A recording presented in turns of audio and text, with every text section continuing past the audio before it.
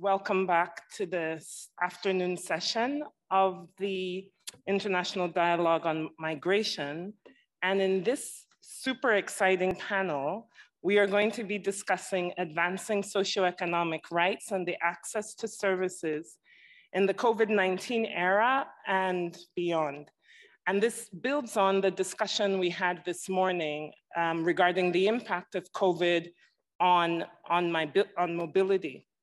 And there are just three um, pieces of information I'd like to share with you all to really frame the discussion that we're going to have. So, did you know that over 200 countries last year issued over 110,000 COVID related restrictions on travel and other measures um, nationally? Um, and that the UN estimates that we will have almost 100 million people going back, falling back into poverty. This is the first time we've seen a global increase in poverty in over 20 years. And did you know that the World Bank predicted that there would be a 20% drop in remittances, but in reality, we only saw a slight dip of a little over 2% in remittances. And that really speaks to the role that migrants play and have been playing in um, the recovery, in the recovery from COVID. So I'm, I'm joined by five very distinguished panelists who I will soon hand over to, but there are just a few things that I would um, like to highlight to further frame our discussion, uh, our discussion today. The first of which is COVID-19 threatens to undo many, many years of progress made towards inclusive and equitable services and, and broader sustainable development. Apart from um, COVID having pushed um, hundreds, um, over 100 million back into poverty, that it has also pushed millions out of education, decent work, and into hunger, malnourishment, and well, undernourishment, and this is particularly affecting migrants and other disadvantaged groups.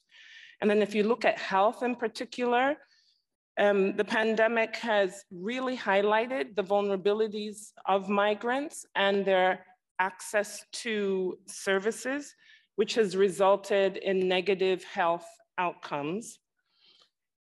We've also seen, and panelists um, in the session this morning talked about um, xenophobia, discrimination, and stigma against migrants in the context of COVID. And this really underscores the importance of advocacy as a counter to this. And we've also seen that social distancing measures in countries have really led to the creation of alternative ways of engaging and interacting with people through digital, through digital platforms, um, hotlines for the provision of information, provision of counseling and psychosocial support virtually, and overall community outreach. So um, th this really shows how COVID has been a disruptor, but it's not only been a disruptor, it has, it has forced um, countries, individuals, communities to adapt. Um, it, has, it has highlighted resilience that exists within communities, but also at the same time, there's still a lot to be done to address the inequities that have um, that that COVID, unfortunately, has not only highlight, highlighted and exacerbated.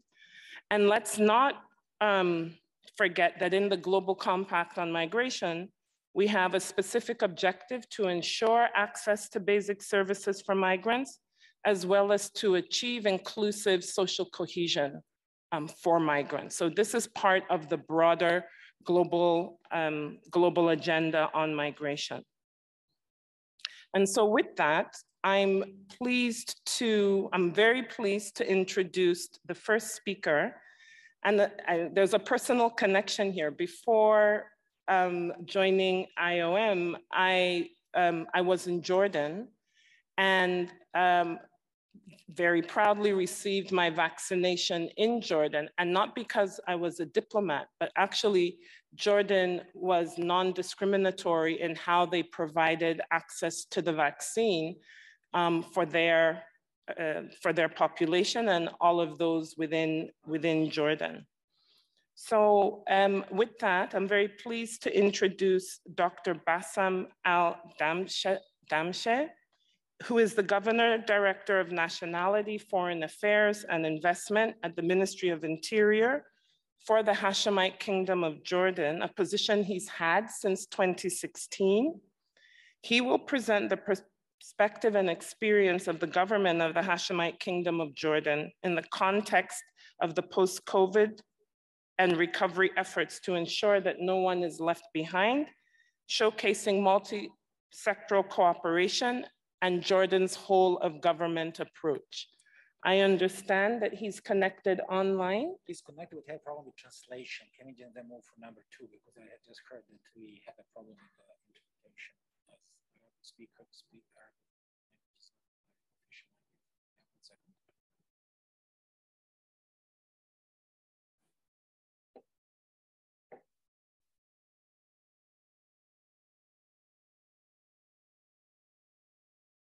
Apologies, colleagues, there's a slight change in the order of the panelists. Um, so now I will introduce our second speaker, Ms. Bola Bardet, and she is the founder and chief executive officer of Susu, a startup providing healthcare services to African diaspora, looking to offer the best quality of care to their families back home. Susu's services include preventive health care, medical coverage in country and abroad, and assistance services.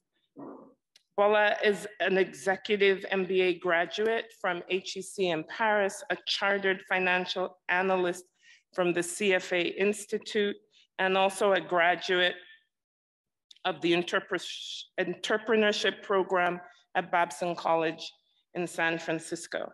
She will share her experience with advancing migrants' access to healthcare according to the right to health in line with universal coverage principles. Bola, over to you. Thank you. Um, I will switch to French because I will be uh, more comfortable in French. Euh, donc, euh, bonjour à tous et merci pour l'invitation. Je suis vraiment honorée d'être ici. Euh, donc, je m'appelle Bola Bardet. Je suis d'origine béninoise, un petit pays qu'on ne connaît pas beaucoup et qui est à côté du, Nigeria. Et euh, bah, j'ai passé la moitié de ma vie euh, au Bénin et l'autre moitié en Europe, la France, la Suisse où j'habite maintenant. Et donc, Soussou est arrivé un peu de manière accidentelle dans ma trajectoire de vie et de carrière, parce qu'en 2017, donc, euh, j'ai eu euh, un événement tragique dans ma vie, euh, donc le décès de mon papa, qui était basé au Bénin et qui a eu un malaise, on va dire, cardiaque. Et malheureusement, qu'on n'a pas été en mesure de sauver, tout simplement parce que le, pays n'était pas équipé pour, pour le sauver. Donc à ce moment-là, moi, j'avais une carrière plutôt, on va dire, tranquille, si j'ose dire. Euh, j'avais fait un peu de carrière corporate euh, dans le domaine euh, du luxe, ensuite dans le domaine bancaire, et ensuite j'avais créé une société de consulting, donc plutôt tranquille. Mais cet événement a été, on va dire, le déclencheur de plusieurs questionnements chez moi. Le principal questionnement étant, lorsqu'on est membre de la diaspora africaine, on, dit souvent migrant, bon, c'est un terme que moi j'aime pas beaucoup parce qu'il a toujours une connotation un peu péjorative. Donc, je préfère dire diaspora africaine. Quand on est membre de la diaspora africaine, euh, donc qu'on a euh, en général euh, consenti à beaucoup de sacrifices pour partir de chez soi, pour quitter ses proches qu'on aime beaucoup et qu'on travaille et qu'on se prive pour les aider, comment on peut se retrouver dans une situation d'impuissance vis-à-vis de ses proches lorsqu'il s'agit de la santé? Euh, lorsqu'on regarde en fait euh, ce qui est à la disposition de la diaspora en ce qui concerne la santé de leurs proches, donc ceux qui sont restés au pays, on se rend compte que c'est quasiment le désert et que la seule chose qu'ils ont à disposition, c'est les services de transfert d'argent. Malheureusement, ces services de transfert d'argent ne permettent pas de s'assurer que euh, l'argent envoyé sert à améliorer la santé des proches, tout simplement. Il ne garantit pas que les proches ont accès à des médicaments euh, non contrefaits, qui sont une plaie euh, dans nos pays africains. Il ne garantit pas euh, que les proches ont accès à de l'assurance. C'est assez basique à dire, mais quand on vit en Suisse ou en France, l'assurance, c'est un droit, c'est une couverture maladie qui est universelle. Malheureusement, quand on est un individu lambda en Afrique subsaharienne, en particulier au Bénin, l'assurance n'est malheureusement pas accessible, euh, à moins d'être un diplomate ou de travailler dans une grosse structure, etc. Et, donc, c'est un problème, donc un problème de financement de la santé euh, des proches. Il ne garantit pas non plus, donc euh, encore une fois, hein, le transfert d'argent ne garantit pas euh, non plus que mes parents vont dans les hôpitaux euh, qui sont de qualité, qu'il y a une prise en charge qui est effective en cas d'urgence. Donc on se rend compte que voilà, on envoie de l'argent et finalement on prie qu'il soit bien utilisé. Et, donc c'est à ça que j'ai essayé de, pallier à ce problème, à ces problèmes que je viens d'exposer, que j'ai essayé de pallier en créant Soussou, donc qui se présente comme un abonnement Hein, auxquels euh, les membres de la diaspora africaine peuvent euh, souscrire euh, pour une année pour le compte de un ou plusieurs bénéficiaires qui sont désignés dans leur pays d'origine. Et ça donne droit donc à ces bénéficiaires à une combinaison de services d'assurance, euh, de services d'assistance, à un suivi personnalisé également, parce que parfois l'assurance ne suffit pas quand on a des proches qui sont euh, vulnérables, qui sont vieillissants, qui souffrent de maladies chroniques, ce qui est le cas de la majorité des personnes de plus de 50 ans euh, en Afrique subsaharienne. Et, donc, voilà, c'est cette combinaison-là qui, en fonction de l'état du proche, donc on fait d'abord un screening si j'ose dire, de l'état du proche. Et en fonction de son état, on va le diriger vers un set de services, un package de services qui vont permettre de financer les soins, de leur donner accès à, un réseau médical de qualité, de leur donner accès également euh, à parfois des infirmiers qui vont à domicile pour, euh, pour les soigner, euh, à, des call centers pour en fait répondre à toutes les questions qu'ils peuvent avoir, pour prévenir également, parce que la prévention est clé euh, dans la santé. Et donc, c'est ce set de services euh, qu'on met à disposition de la diaspora aujourd'hui. Euh, donc, aujourd'hui, on est présent en Côte d'Ivoire, donc en France et en Côte d'Ivoire. Et on est en train de se développer dans de nouveaux pays d'Afrique, le Sénégal, le Cameroun, pour commencer, et encore d'autres pays en 2022. donc voilà ce que je peux dire. Je pourrais donner plus de détails par la suite. Um, thank you very much, Bola, for such an inspirational story and your ability to turn um, what was a personal tragedy into uh, uh, an achievement that reaches so many people. So, so thank you for that. And now uh, moving on to the next um, speaker, and I, I, would really like to emphasize um, how important the inclusion of migrants is for service provision as a backbone of global commitments to leave no one behind and achieve the 2030 agenda. And so with that, I'm very pleased to introduce our next speaker, Jeremy Robbins, who is the Chief Executive Officer of New American Economy, a bipartisan coalition of more than 500 CEOs and mayors making the economic case for immigration reform. He previously worked as a policy advisor and special counsel in the office of New York City Mayor Michael Bloomberg. He will share his experience of the organization which he leads to promote migrant inclusive societies, as well as his expertise in local migrant integration. Jeremy, over to you.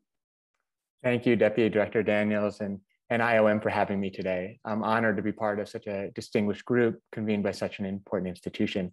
Um, I'm sorry I couldn't join in person, um, but I'm thrilled to be able to be there virtually from my kitchen counter here in Brooklyn, New York.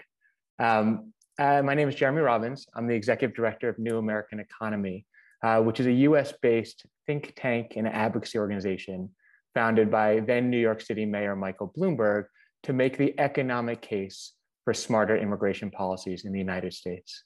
Um, as an organization, we study the impact that immigrants are having in every single community in the United States and across every industry.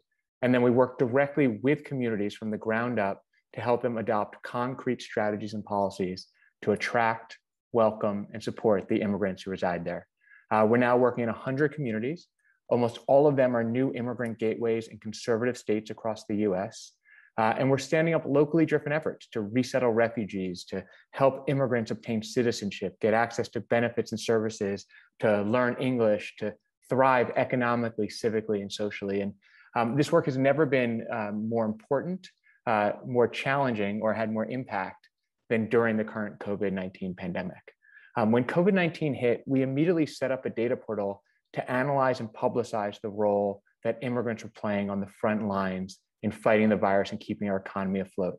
Um, at the time, uh, we were we were fighting a wave of xenophobia, right? Immigrants were accused as being the cause of the pandemic, right? Our, we had a president who repeatedly referred to it as the China flu, uh, and and so we thought it was important to to really highlight what was actually happening on the front lines. And um, immigrants in the United States, as in many places around the world, uh, tend to gravitate at both ends of the educational spectrum. So they're far more likely than native born to lack a high school diploma and work in the labor intensive industry, industries on the front lines.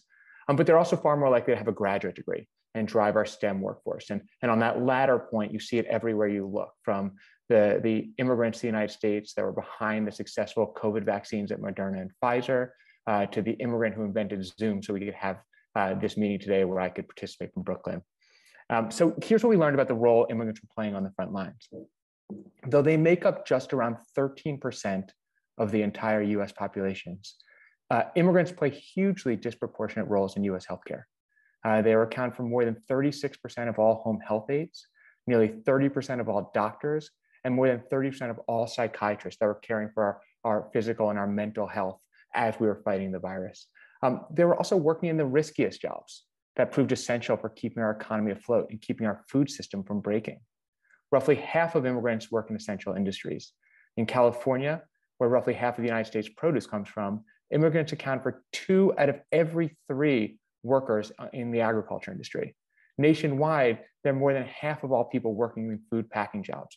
Um, and you see it up and down the supply chain from the truck drivers who are transporting goods and services to the cashiers keeping our essential retail and grocery stores open uh, to the sanitation workers doing the essential work cleaning and sterilizing to keep the virus at bay, immigrants played and continue to play disproportionately large roles in all of the important and risky jobs that our society depended and continues to depend on. Um, but for the very same reason uh, that immigrants were such a vital part of our COVID response, they were also the most vulnerable to get the virus. Immigrant communities were far more likely to, to get COVID and far less likely to receive government economic and health benefits to weather the pandemic.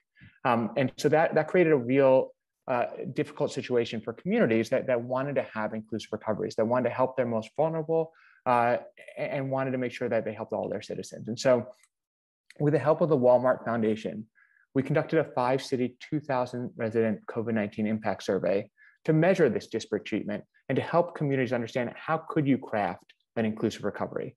Um, and what we learned was sobering, though perhaps not unexpected. Immigrants reported enormous direct impacts to their economic well-being from COVID-19. One in three had their hours reduced or lost their job. Half of very low in, in, income immigrants didn't receive any stimulus checks from the, the federal government. Um, and even when services or, or benefits were technically available, there are huge barriers to obtaining them. And, and we found that lack of information, fear of bias attacks, concern about immigration status were the top barriers to accessing, accessing necessary services like medical care. Um, importantly, immigrants also experienced a severe sense of dislocation from the pandemic. 80% of the immigrants we surveyed reported negative impacts on their sense of safety, well-being, and belonging, 80% due to the pandemic. Um, and that included suffering from mental health issues, isolation, and, and other things of that sort. Um, on the positive front, uh, relating it to our, our message today, there's also a lot of evidence to show that cities and local partners stepped in. So 60% of immigrant respondents said they knew a local organization they could turn to for help. 42% had received food assistance from a local nonprofit or, or local government, and 12% had received rent or mortgage assistance. Um, and so, so working with these cities and, and through the, the New American Economy Cities Index that, that, we, that we run every year that measures how well immigrants are integrating in cities across the United States, um, we were able to tease out several common key actions that cities were taking to promote inclusive emergency management um, and to help provide a guide, I think, for cities going forward. So uh, there, there, were six different things that cities were doing that, that proved effective. Um, first, cities like Boston created community-driven multi-sector task forces on inclusive emergency management uh, to ensure that immigrants and all relevant stakeholders were at the table from the design phase in crafting what the pandemic response was going to be. Um, other cities like Long Beach, California, actually formalized our task forces by having a dedicated equity team or office embedded within the emergency operation structure so that whenever there's an emergency response, there's someone whose job it is to focus on inclusivity. Um, another big one was language. So several cities, including Tulsa, Oklahoma, developed emergency language access plans that included things like live interpretation of briefings, databases of, of which city staff speak different languages, uh, hotlines in multiple languages, uh, flyers that are translated in multiple languages, and other methods to make sure that language was not a barrier to obtaining city services and relief. Um, most of the cities that, that proactively sought to build inclusive recovery, cities like, like Minneapolis, Minnesota, or Seattle, Washington, actually formalized the partnerships and funding uh, in coordination with immigrant community leaders. So they had programs like community navigator programs where there'd be a dedicated person in each community who would be the leader to, to share key info and collect feedback. Um, other cities that focus on things like medical care, so places like Albuquerque, New Mexico, local governments provided free or low cost access to medical care regardless of immigration status. Uh, so including testing, vaccination, emergency treatment, things to ensure that, that when we're responding, we're responding as a community. Um, and finally, and most difficultly, but, but I think in some ways most importantly, a few cities like New Orleans, Louisiana, were able to create resiliency funds. Uh, so in the US, our, our federal government had an emergency response to COVID, but it, but it made immigration status part of the, the requirements to get relief. Uh, and so undocumented immigrants were, were, were left out of that. And so certain cities like New Orleans were able to use either private funds or public-private funds uh, to support undocumented workers and families. Um, so the survey results and all of our COVID-19 data is available on the New American Economy website, and I can put that in the chat for the people who are on Zoom. Um, but it also includes very useful tools I think could be replicated around the world. Things like our, our interactive map, which is maptheimpact.org, uh, which shows how immigrants impact each and every single community across the entire United States. Uh, you can put in your local address and see what the economic impact is in your community. Um, or our cities index that I mentioned, which, which measures using 50 different metrics how well all large cities are doing it at immigrant success and integration. Um, so I'm grateful for the opportunity to discuss this work with you today and, and really appreciate having me. So thank you all. Um, thank you very much, Jeremy, particularly for quantifying um, the contribution of migrants, but also demonstrating what inclusive um, an inclusive COVID response um, looks like. And really great that, um, uh, that you have tools which are um, replicable. Um, thank you also for calling out my name at the beginning because that reminds me that I didn't actually introduce myself. I know Amy did at the beginning, but I think I need, I need to do that. Um, so my name is Ugochi Daniels. I'm the new Deputy Director General for Operations at IOM. And apologies for not introducing myself earlier, but better late, better late than never. So um, now we're moving on to a joint presentation um, by Mr. David Khoudour, the Human Mobility Advisor at UNDP, and, and my dear colleague, Cecile Riallant, the head of the Migration and Sustainable Development Division here at, um, well, no, we're not in IOM, at IOM. Um, and first to start, I understand is David, who prior to his current role as the Human Mobility Advisor at UNDP, worked as the Regional Migration Advisor at the Regional Center for Latin America and the Caribbean in Panama. And before that, he worked as the advisor for migration and development at the UNDP office in Colombia. So David, over to you. Thank you, uh, DDG Daniels. It's, uh, it's an honor to be uh, with you. I hope you can uh, hear me uh, well. Um, so I, I, was already here one year ago together with Cecile, and we were already talking about our joint uh, collaboration. And, and after one year of working together, uh, we have uh, made uh, significant progress and uh, I'm very happy to share that and, and, and also the lessons we have learned in terms of uh, precisely the topic of this panel on uh, access to services and, and, and issues of, of integration. I think that the premises of our joint collaboration between IOM and UNDP that we believe that migration and migrants are key uh, contributors to the sustainable development of their countries of origin, transit, and destination. And this is really where our joint work and our support to the member states um, make, uh, make sense. We are very active in the UN network on migration, precisely co-leading the work and supporting the, the support, supporting the, the member state in their implementation of the, the global compact. And most importantly, since last year, we have implemented a, a seed funding initiative to support um, our countries, country offices and the countries in providing a response, a socio-economic response to COVID-19 for migrants and communities. We implemented this initiative in 11 countries across regions, and um, we, we hope, we believe that this initiative has been uh, very uh, useful to support the, the, migrants. We have been working in Lesotho, in uh, Indonesia, in Kyrgyzstan, in uh, Peru, Costa Rica, uh, sorry, um, in Peru and El Salvador and so on and so forth. And, and we have had so much good feedback that we decided to uh, launch a new round of support to the countries uh, because unfortunately, after one year and a half, we are still facing the consequences of, uh, of COVID-19 and the migrants have been particularly hit hard as it had been reminded by the previous speakers. And, and congrats to Jeremy for a great uh, initiative and a great uh, presentation. Um, we have learned some lessons over, over the last year and a half. And I think that the main one is that why migrants have been particularly hit hard. The reason is that they are structurally more vulnerable. It's not that they have been more vulnerable in a context of pandemic. They have been more vulnerable because there is a lack of integration. So we have also learned about the cost of no integration. And it's very important to use this experience to uh, project ourselves in the future and how can we prevent in the future that migrants are losing their jobs so quickly are more uh, prone to uh, get sick, to get uh, uh to, to, to be uh, exposed to the vaccine to the virus more quickly than the other part of the population.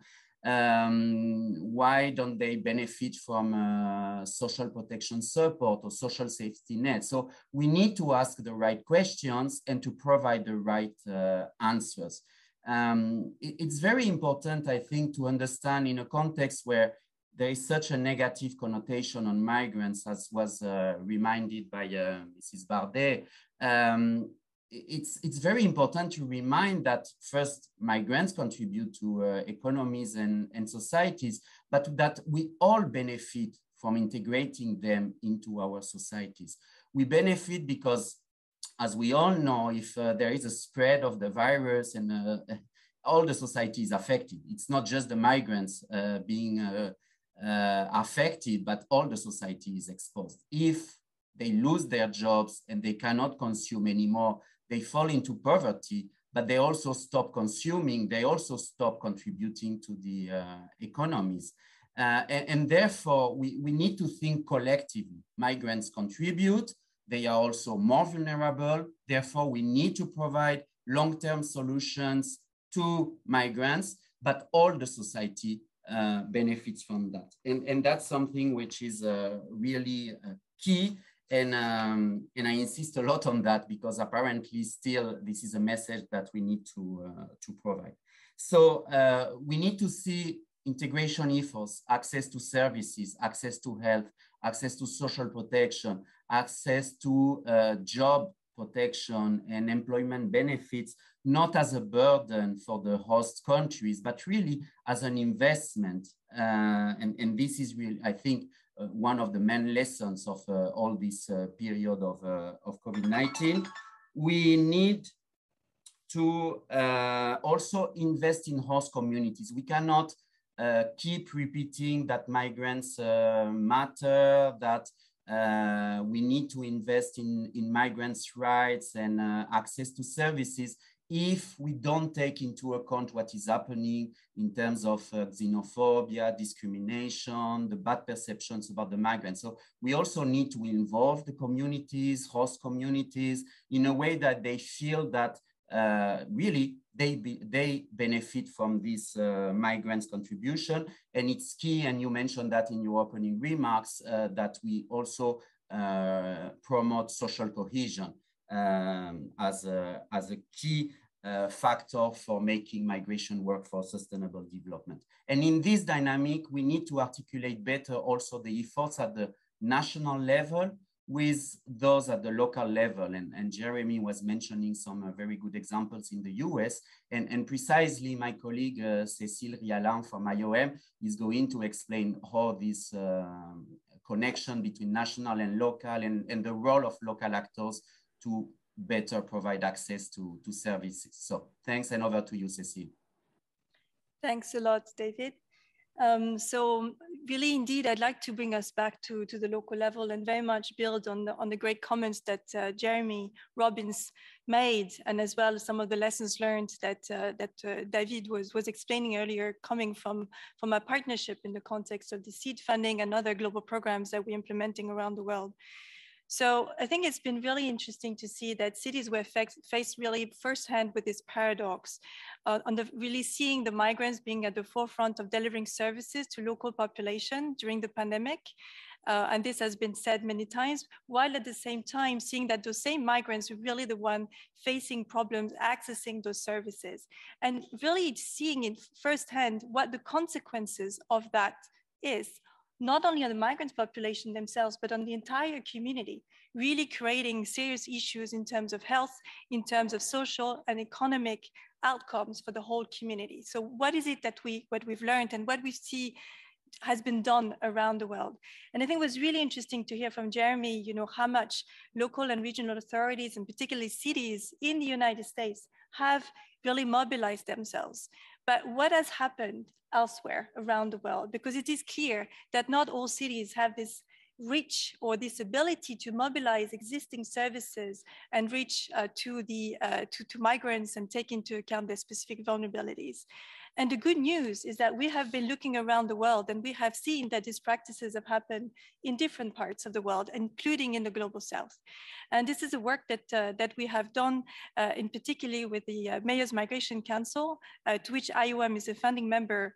And we have documented, for example, that in cities like Beirut, uh, uh, you know, they have been doing mobile COVID-19 testing centers to reach people in hard to reach parts of the city and really look, you know, reaching out to displaced to migrant population.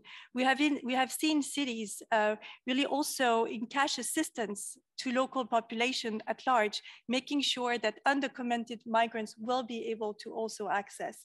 So if I have to bring us back to one of the main lessons learned and what, can, what has united a lot of those practices in the global south, in the global north, at local level, is that cities have made a very clear decision. That is, to provide equal access to services for all, regardless of migratory status. And, and I think that that is, that is a very important part of what we have to be looking at when we talk about access to services for migrant population. So really by doing so, uh, a number of cities really have stepped up to their role in addressing widening inequalities within local population and between you know, different parts of this local population, migrants being an important part of that. So the importance of the local level to get things right cannot be underlined enough. It is at the local level where inclusion and service provision takes place. It is at the local level that, that where a better understanding of the needs and opportunities surrounding migration lie. It is also at the local level where mayors, local authorities, religious leaders, civil society organizations, the private sector really can work effectively together. But we know that it is not the whole picture. Indeed, implementing these solutions uh, is complex, particularly when local solutions contradict national level policies. So how do we reconcile that? Le local level intervention to be brought to scale also need to be supported by national authorities. So really COVID-19 more than ever has underlined the importance of having a true whole of governance approach as an, and this is an essential element of the Global Compact on migration.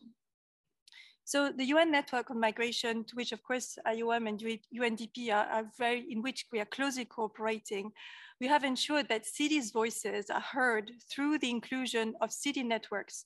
And cities are also able to access funding through the Migration Multi-Partnership Trust Fund. IOM also supports the mayor's mechanism alongside with UCLG, uh, a very important city network, and the Mayor's Migration Council to raise the voices and expertise of mayors and local authorities in state-led and global discussions on migration. A call to local action will be issued shortly to link up city actions with the implementation of the Global Compact on Migration and the Global Compact on Refugees. Access to services, portability of social rights are essential elements of this call to local action. So IOM and UNDP, through our partnership, uh, we are actively engaging with national and local authorities all around the world. And I think David, you know, mentioned some of uh, some of those countries where we are actively working and really applying this whole of governance and whole of society approach in our joint work, really linking migration governance with local development, with city planning and service delivery for local populations at large.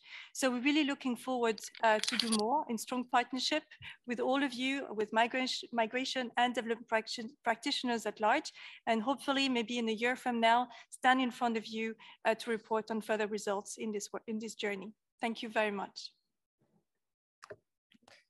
Thank you, Cecile. Thank you, David, um, for sharing IOM and UNDP's co-created solution to promote greater social cohesion between local communities, migrants, and refugees. Um, it was really good to hear David, you know, really capture the that migrants contribute, that migrants are more vulnerable, um, the importance of integrating into society as an investment. I think that is a, it, it's a, a, really important perspective um, to, to, to, to, to bear in mind, especially when we go back to the the, earlier discussions around um, stigmatize, stigmatization and discrimination, but that actually this is an investment in society. Also for highlighting, highlighting the role of host communities and a whole of government uh, or a whole of society approach and getting things right at the local level, particularly the, the portability of, of social rights and the engagement of all the various stakeholders. So with that, we have come to the end of our, um, our panel presentations. I understand that we have two statements from either online or on the floor. And if colleagues either in the room or online would like to ask questions or have any further statements, please indicate so. Um, and then um, I'll be able to call on you after these two statements. So the first statement will be from the representative from Portugal. Is it online or in the room? Good afternoon. Hello. Yes. Yes, we can hear you. Yes, you can. Can you see me? And we can see you. okay. Hi, uh, many thanks for this opportunity. And I would like to thank the insight, the insights from the speakers and the perspectives from different countries, which is very important for us. So um, I'm the State Secretary for Integration and Migration, and I would like also to give the perspective of Portugal. Um, so as you said, and in Portugal, the pandemic crisis has increased the long-standing inequalities. And so it made them more visible and affected, as we all know, more people in vulnerable situations, including uh, migrants. And now our step is exactly what is the, the title of this panel, is to make temporary measures to, to transform them and make them public measures, public permanent measures. So that's what we have been working for. Um, and in that sense, we are trying to improve uh, um, the access to mainstream services uh, through better information and the removal of barriers. Secondly, uh, together with the government and High Commissioner for Migration, we are trying, we are always working for that the migrants have access to the same rights that any Portuguese citizen has. And so what have we learned from the crisis in that sense? And this was also a challenge, but at the same time, as you said, an opportunity. Uh, the Global Compact of Migration, which we started just some months before pandemic, uh, was very important to stress and to reinforce uh, all of society government approach. And that was very important to link the local government, local administration with the central administration and associations from the civil society. And I would like to stress four measures. First, the access to health. Uh, we, in the vaccination, uh, we included all the migrants who are documented and undocumented.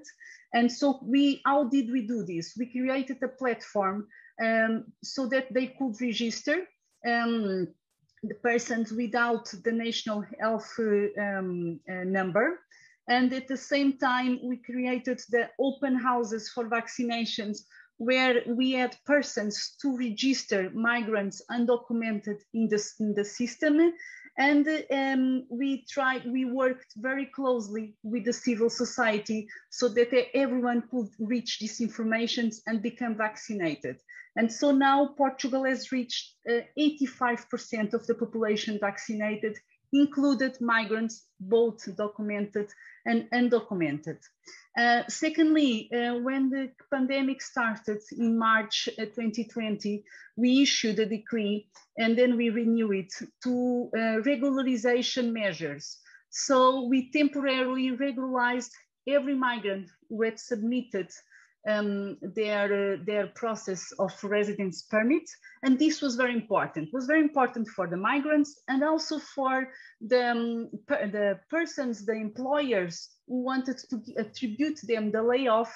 And only through these measures, they could have the layoff, they could have social security support um, and other kinds of support. Third, we, we revised the Portuguese language courses making them more flexible and also that undocumented migrants could access the Portuguese language courses. And uh, lastly, to again stress that the global compact of migration was really important for our government. And we simplified procedures. For instance, the social security number. Now it's much easier for migrants to have this number. Uh, also, the renewal of residence permits, now it's much more simple. And so we simplified the, the procedures. Um, to end, just to say that um, exactly as also Jeremy Robbins said and David Khoudour, that the, um, the contribution of immigrants to society is very important. And in Portugal, in last, in last year, the contribution to the Portuguese social security from migrants was 884 million euros. So between, between what migrants, uh, migrants contributed and between what they received from the Portugal uh, social security system, the social security system benefited only from migrants 884 million euros. Uh, so this is a, a, very important contribution to Portuguese society, also demographic, and this is an opportunity. And we, I also like to add that we don't have enough uh, workers for our labor market. So we really need migrants for our labor markets. And thirdly, we strongly value diversity in Portugal. So many things and uh, many things also for us to keep learning with uh, all the speakers. Mm, thank you very much and congratulations to Portugal for the very high um, vaccination rate and also for highlighting that contribution to the social security system by migrants. Okay, next on my list, I have the representative of Bangladesh.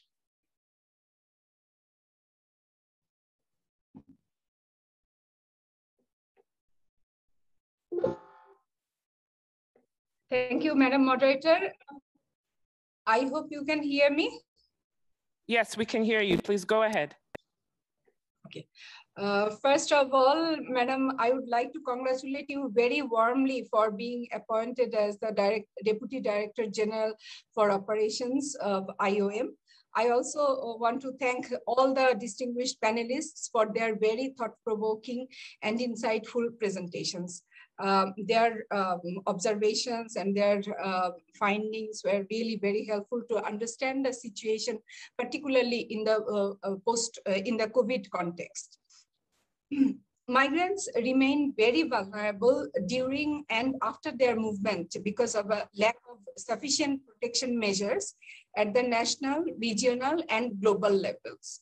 This uh, situation often causes inadequate and unequal access to healthcare, decent jobs, and livelihood opportunities the COVID-19 pandemic has dramatically increased the vulnerability of the uh, migrants in many places. Yet in uh, many places, they faced unequal access to healthcare, including COVID-19 vaccines. Thousands of migrant workers have without any guarantee of getting back those jobs. Uh, Bangladesh being a very migrant uh, in, intensive country, we have, uh, we have really millions of migrants outside and so we, we faced the situation, uh, you know, uh, very uh, hard. Many of them are facing the grim reality of forced return. The pandemic has indeed brought an uncertain future to millions of migrants from developing countries, including my own country, Bangladesh.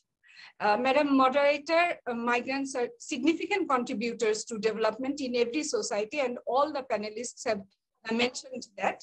While preparing to build back, migrants will have to be part of the solution for a sustainable and inclusive recovery. And to this end, Madam, delegation has a few points uh, for your consideration. Uh, first, a rights-based approach focusing on migrants' health, job, and livelihood security is crucial. Second, national COVID-19 response programs of countries of destinations must include migrants and all migrants, irrespective of their status, must get equal access to healthcare, including vaccines. Third, migrants who have lost their jobs must be guaranteed reappointment. Ethical recruitment and decent job is a key for protecting migrant workers across supply chains. And finally, Madam Moderator, private sectors and businesses need to play an essential role in protecting the rights of labor migrants, irrespective of their migratory status. I thank you, Madam, for the opportunity. Thank you very much and for the strong emphasis on the rights of, of migrants. And next on the list is the representative of Niger,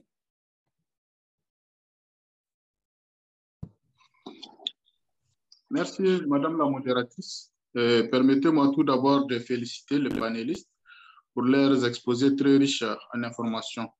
Euh, le Niger salue le choix de ce thème, promouvoir les droits socio-économiques et l'accès aux services pendant et après la pandémie, qui constitue un appel à l'action pour que la communauté internationale se relève des répercussions de la pandémie tant sur le plan sanitaire que socio-économique. En effet, la COVID-19 a eu des répercussions sanitaires et socio-économiques à raison des perturbations sur les systèmes sanitaires et éducatifs, les restrictions de voyage, la perte d'emploi et l'augmentation de la pauvreté. Et les réfugiés et les migrants, qui constituent l'une des couches sociales les plus fragiles, sont souvent plus affectés par les conséquences socio-économiques de la pandémie de COVID-19. En effet, nombreux parmi eux ont perdu leurs sources de subsistance et ont des difficultés à accéder aux services de base tels que la santé et l'éducation de leurs enfants. Et pour le Niger, l'inégalité d'accès des migrants et des réfugiés à des services de santé de qualité a des incidences négatives sur la santé publique générale et, tranche avec la vision d'inclusivité défendue par l'ONU et l'écrasante majorité des membres de la communauté internationale dès l'apparition de la pandémie. À cet égard, le Niger réaffirme ses vues selon lesquelles seule la solidarité internationale dépendant d'une vaccination universelle et l'inclusion de toutes les couches sociales, notamment les réfugiés, peuvent permettre de mettre fin à la pandémie et d'envisager la relance économique mondiale. Je vous remercie.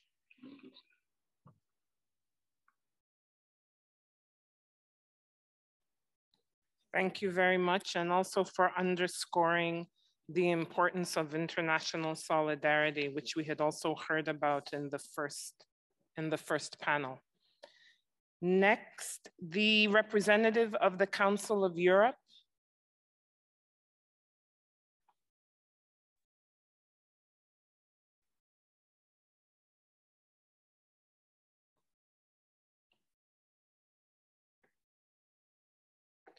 We cannot hear you.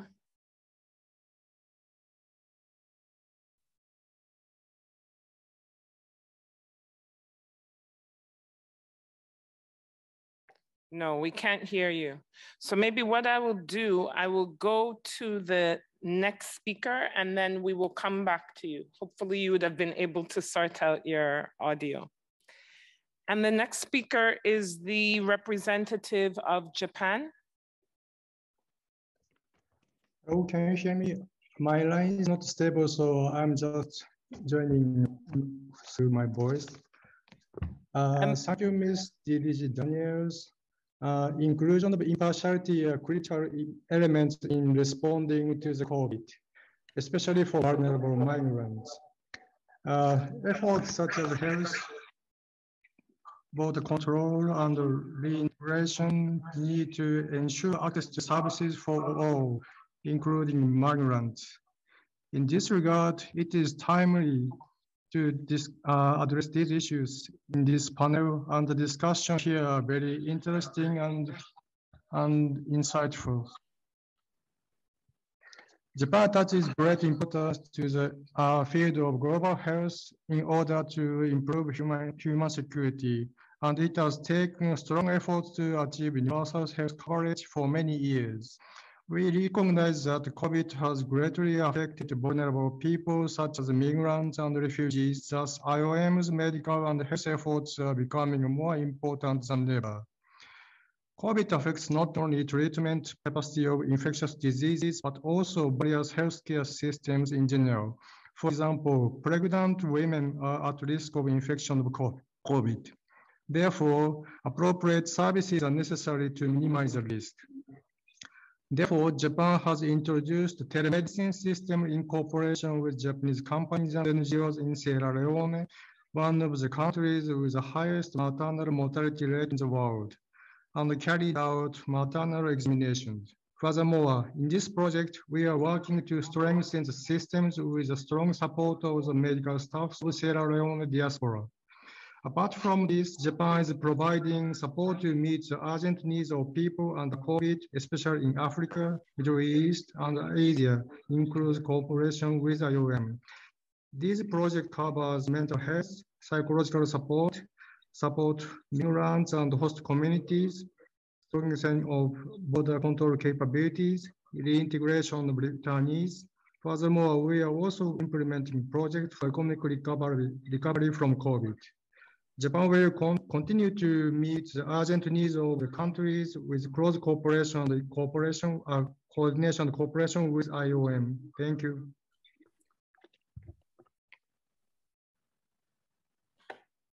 Thank you very much. I'd like to extend uh, our congratulations and welcome uh, to the new IOM Deputy General Directors.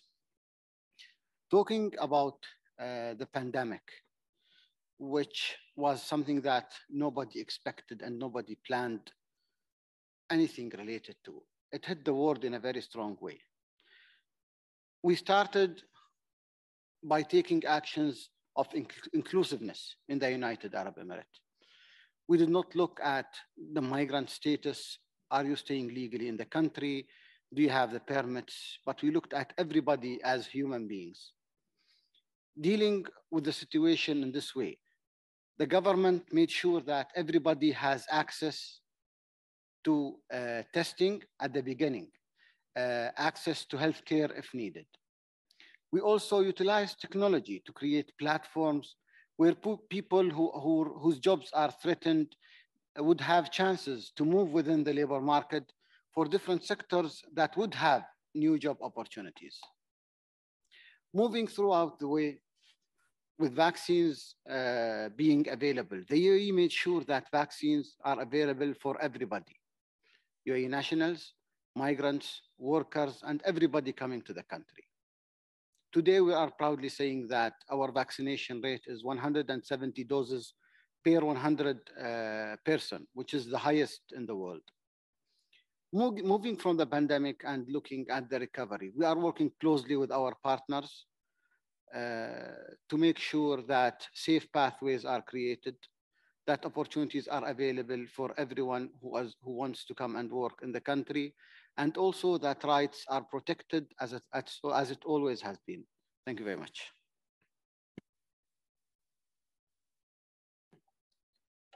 Thank you very much. And this brings us to the end of the statements and questions. Um, and thank you to all who, who provided statements or, or shared the experience from their, from their countries. And um, before I go back to our distinguished panelists for their final comments in response to the um, statements and contributions, I, I, would just like to share with everyone that the contribution from the Hashemite Kingdom of Jordan by Dr. Basem will be available in writing and presented in the report of this um, IDM. And so with that, I'm going to go back to our back to our various panelists. So I think I'll start with Bola here um, for your final for your final comments or reactions or reflections. Euh, donc, euh, merci encore euh, de, me donner la parole. J'ai trouvé vraiment très, très, très intéressant les, différentes interventions. Ce que, je retiens en tout cas de, l'expérience qu'on a avec, euh, Soussou, donc qui est un service de santé permettant aux membres de la diaspora de, couvrir la santé de leurs proches, c'est que finalement, donc les migrants ou la diaspora doivent être pris, on va dire, avec des besoins qui sont considérés dans leur ensemble, euh, nous, on a démarré aujourd'hui sur le domaine de la, santé et, à force d'échanger avec euh, les membres de la diaspora, les associations de la diaspora, on, réalise qu'il y a d'autres besoins euh, qui, demandent à être, être satisfaits en fait de la diaspora. par exemple, il y a l'aide au, retour au, pays, il y a également le rapatriement euh, sanitaire, euh, en cas d'urgence. Il y a cette question du transfert d'argent qui est extrêmement importante et qui est centrale lorsqu'on sait les volumes d'argent que représente euh, les, la migration, enfin les migrants pour leur pays d'origine, un pays comme le Sénégal, ça va être autour de 15% du PIB. Euh, on a vu l'impact euh, de, certaines diasporas sur la pandémie du, Covid, qui ont été très solidaires, par exemple en envoyant de l'oxygène dans leur pays d'origine, ce genre de choses. Donc on se rend compte que euh, bah, les migrants sont une vraie euh, richesse effectivement pour le pays euh, d'origine, mais également pour leur pays de résidence et que bah, en fait leurs besoins doivent être considérés un peu dans l'ensemble et, et qu'ils ne doivent pas être considérés comme des, euh, je sais pas comment dire, des, juste des, des, personnes à aider ou qui sont juste dans le besoin. C'est une catégorie de population qui apporte énormément de la valeur euh, dans leur pays, euh, à la fois d'origine et de résidence. Voilà tout ce que je voulais dire. Thank you very much, Paula. And now I will go to Jeremy for your right. final reflections. Yeah, thank you. I'm so grateful to be able to be here today um, and to, to be with all of you. Um, I was struck by the commonality of, of what so many of the distinguished statements and, and, panelists had to say that, that we really are facing something similar around the world and, and a real lack of investment and communication and, uh, and inclusivity. But, but, but I'll end on something that I think is, is quite optimistic and promising. Um, and I can speak only for the United States in this, but, but one thing that I was struck by in COVID-19 is that for the first time, uh, it became really clear uh, what it meant to be an essential worker. And uh, it became clear the dialogue about when we talked about immigration, people would focus on high skilled immigrants and entrepreneurs, but but almost the the people who are working in labor intensive industries, who are working in lower skilled jobs, um, were, were almost dismissed as a as a drag on on our economic growth. And one the one very big positive thing in how we think about our economy uh, is that COVID laid clear like who are the people without whom our economy stops, um, and and often it's it's not the scientist or the doctor, although we need the doctors too and the scientists, but but it's the person who's who's cleaning, who's transporting, who's who's assisting, and so. Um, I do think I am I'm, I'm optimistic that as we think about policy and we think about resilience, we think about policy going forward, uh, that that that it, it is easier to make the case about why these investments are so important. Uh, and so I'm hopeful that, that there has been a learning experience and uh, certainly dialogues like this are extremely helpful in, in sharing that. So, so thank you for having me today. It is a, a pleasure to be here. Thank you very much, Jeremy.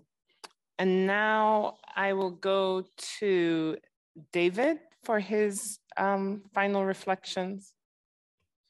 Thanks so much. Uh, no, I was uh, very impressed. There are so many uh, initiatives. You know, I am. I'm today. I am in Washington D.C. First uh, in-person mission for quite a long time. I am at the MPI, the Migration Policy Institute, where we will discuss the questions of uh, integration for um, people from uh, from Venezuela in Colombia and the, the region. And and I see one of the topics we are going to discuss is uh, how can we use the experiences from the rest of the world?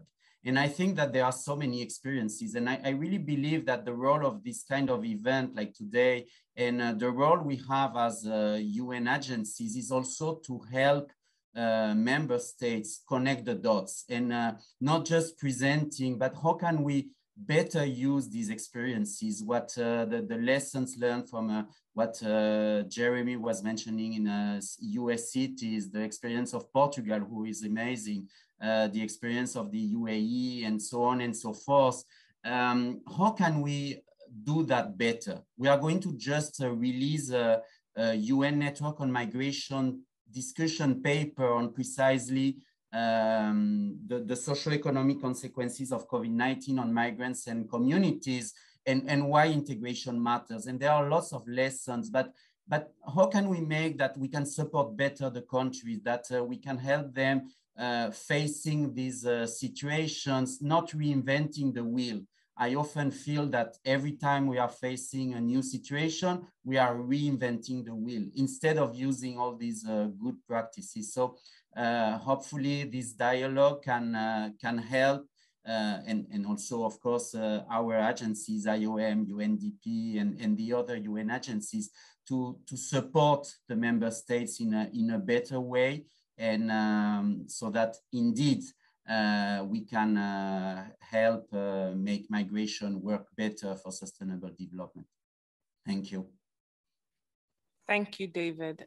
And now last but certainly not the least, over to you, Cecile, for your reflections. Thanks a lot. Um, I think a key, a key element that was uh, that came out of our discussions in this panel is that really investing in migrants equal investing in our societies at large.